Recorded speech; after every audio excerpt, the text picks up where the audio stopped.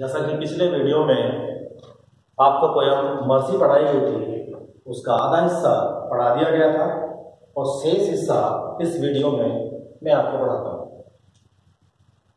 Mercy दया की बात चल रही थी तो अंतिम स्टैंजा में विलियम शेक्सपियर कहते हैं but mercy is above this sceptred sway जो मर्सी है, वो जो राजाओं का राजसी छड़ी होती है या वो प्रतीक चिन्ह जो राजाओं के डर को दिखाता है, उससे ऊपर होती है।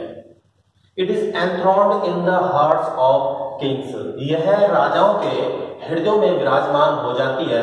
मतलब यदि राजाओं के हृदयों में दया आ जाती है it is an attribute to God himself यह मतलब दया स्वयं भगवान का एक गुण है।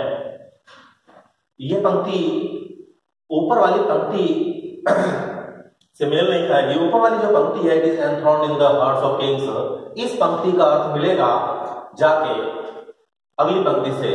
And earthly power doth then show like और तब, यानी कि दया का गुण यदि राजाओं के हृदयों में बैठ जाता है या आ जाता है तो जो दया जो दया एक ईश्वर का भी गुण होती है, तब राजाओं की जो शक्ति होती है, उनकी शक्ति स्वयं भगवान की तरह ही दिखाई पड़ती है। वह मर्सी सीज़न जस्टिस और वो बैठती कब है? जब राजा अपना कोई निर्णय देता है, और उसके उस निर्णय में दया आ जाती तो समान ही दिखाई पड़ती है। यदि किसी राजा के हृदय में दया का गुण आ जाता है, तब इस पोयम में आपको पोयम को पढ़ाने के बाद होमवर्क दिया जाता है होमवर्क में आपको क्या करना है?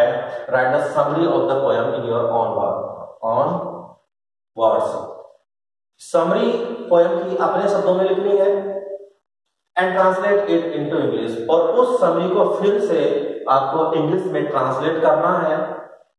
इससे आपका जो सेंट्रल आइडिया है, वो भी कंप्लीट हो जाएगा और पोयम पूरी तरह से आपके जो है कंप्लीट लर्न हो जाएगी। और जो सेटेलाइट है उसको रटने की ज़रूरत नहीं होगी। धन्यवाद।